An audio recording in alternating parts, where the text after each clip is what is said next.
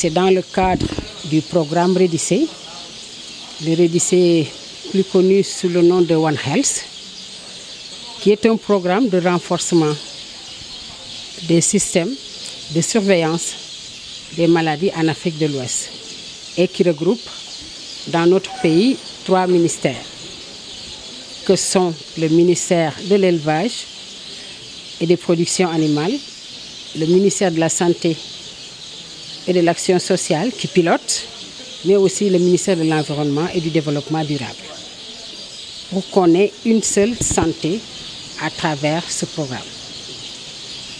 Maintenant, cette formation, au sortir de l'atelier, ces formateurs vont identifier des relais.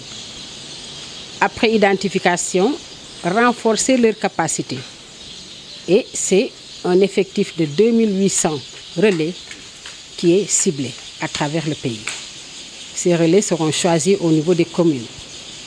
Et le ministère, ce sera le deuxième partenariat que le ministère aura à nouer avec les collectivités territoriales, parce que dans le cadre de l'autosuffisance en moutons, avec le projet IMAM, nous travaillons avec les collectivités locales. Et pour prendre maintenant en charge tout ce qui est défi au sein du ministère, le Rédissé nous appuie pour vraiment choisir ces relais et les mettre à la disposition des populations.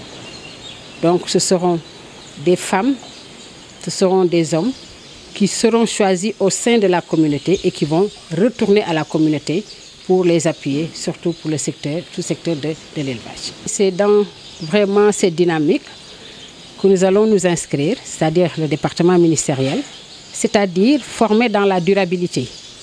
C'est pourquoi on, va laisser les communautés choisir elles-mêmes les personnes qui seront les traits d'union entre elles et le poste vétérinaire.